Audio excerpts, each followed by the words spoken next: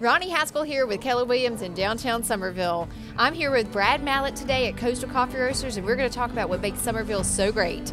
Stay tuned. All right. All right. All right, Brad. So you were just telling me you've been here in Summerville for about 12 years. You could have opened up a coffee shop anywhere, right? Tell me what your vision was when you moved here.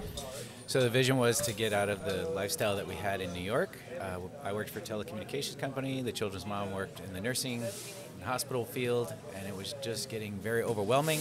Where we couldn't focus on ourselves, our kid children, and our community. It was just getting very corporate-minded and driven, and the atmosphere in New York was changing rapidly. Yeah. So we picked up everything and followed uh, my best friend's at the time, his widow, moved to Summerville, and we came down, fell in love with it, and just made the big jump to say, let's move. And then we decided, what are we going to do? So we decided to do a coffee company roasting. A brewery was actually in the business plan and making a community space. And that was, what, 12 years ago? Yeah, 2010. So you beat me just by a little bit into town. Uh, oh, no, no, no, I No, beat you you. beat me. I, I beat you just a little bit into town. Um, but we've, we both watched this community grow Oh, from what goodness. was a small, much smaller town. And in some ways, it still feels that way, right? Because the community and the people here still operate on a very personal basis. It's one of those small town feels that you don't want to do anything wrong to anybody because everybody's going to know within the end of the day type of thing. That's Which is right. great because if you're raising children, it's nice to know that somebody else is looking out for your kids too. So Yeah. And this town certainly has that feel. Um, remember when we had that flood and then the next day 50 people just showed up To right help in the you. middle of a pandemic yeah. to help us get open because their favorite coffee shop was not going to be open. So they all grouped together and helped bring that to fruition. So you are former military, and I'm highlighting Yeah. this because it is Veterans Day today. Air Force, game high. Yep. So Air Force, you still give a, a lot back to veterans. Yes, Um, this is our big supporting organization that we contribute to called WhenLifeSucks.org. And while it has a humorous name, um, what they do is really serious. I mean, it really helps to get a veteran who might be struggling with PTSD, a family member who can't get through the meandering through of the programs that Yeah. where they need the help, and they help do all that. Believing we have a similar mindset of getting people outside. So just today, from 11 to 2, you're doing a lot here um, at Coastal Yeah. to highlight and benefit this organization. But that's not the only organization that you benefit. I mean, you're pretty Oh, yeah. integrated within the community. Please don't ask me the list because it's too big. I don't know where it is. But that's your way to serve back the community that serves you. You know, Yes, and, and absolutely. it helps you build your business. My girls, in fact, um, told me they said, "Oh, he owns this business. He, he must be very wealthy." But really, You probably get that too. Sometimes I do. Sometimes I do. But really, we give back to the community and help support by having employees and a place for work. And it's a it's a livelihood that we both have built for ourselves here in Summerville. It's it's an absolute blessing, and you know that I recently traveled with April all across the country. It was 51 days, 7,800 miles, and what we took away from it was that this is always going to be home. Yeah.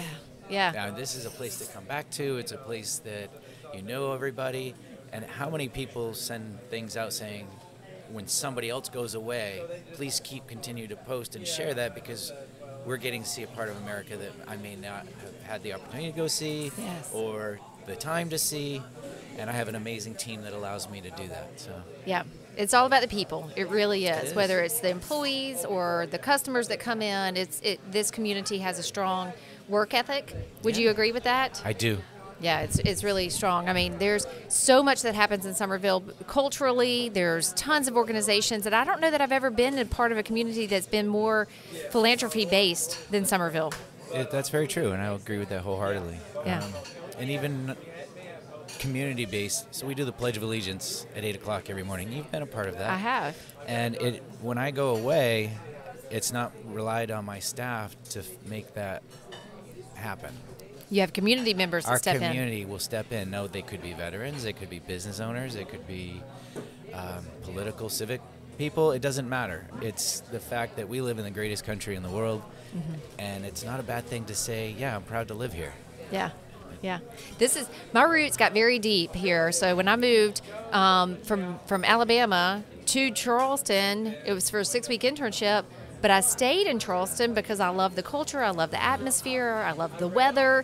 There were a lot of reasons why I stayed. But when I started to look at having a family, I decided to move to Summerville specifically Oh, nice. because I wanted the schools, I wanted the Yeah. community, I wanted the, the the events that would happen out at the town square. You know, it was all of that Third is what I wanted to Thursday. rate third Thursday. Although it wasn't a thing when I first moved Yeah. here, but it has certainly gotten to be the farmers market on Saturday mornings, which y'all have a presence Yeah, at as there. well. Yeah, I mean, there's just so much. It's almost you you don't have enough time to be integrated into every aspect of this community, but there's a lot. There's there's something here for everybody. if you how many places have you gone well there's nothing to do here there's nothing to do here and i think that mindset doesn't exist here because there's so much to do it's almost too many things to Mm-hmm. Yeah. do and you're we've had these conversations where it's like well i got four events i got to be at i can't split myself four ways so you do the best you can That's right. and and everybody's supportive of each other and i think that really really helps It plays into and it buil- builds that community that we were talking about earlier. You Yeah, know, they say two degrees of separation or seven degrees. What, how about the?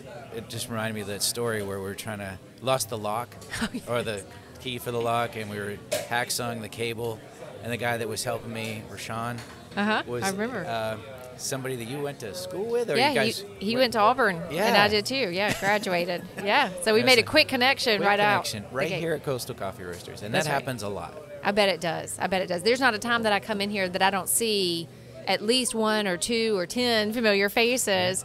Um, but that's that's the community that we're talking about that Summerville really has to offer. And so, well, I'm proud to be a part of this community, and I'm so thankful that we've gotten to be friends. Oh, absolutely. And um, so the hope is that other people, will, as they move into town, they can benefit from our services. We can lead them. You know, depending on where their interests are, uh, where they want to serve, you know, the community, we can point them in the right direction of service as well. That's what we're for, just a meeting place to help guide that conversation. That's right. That's right. Awesome. Well, thanks, Brad, for joining me today. Absolutely. Have a great weekend. Thanks, you Happy too. Veterans Day. Yes. Thanks for joining. Stay tuned for next week.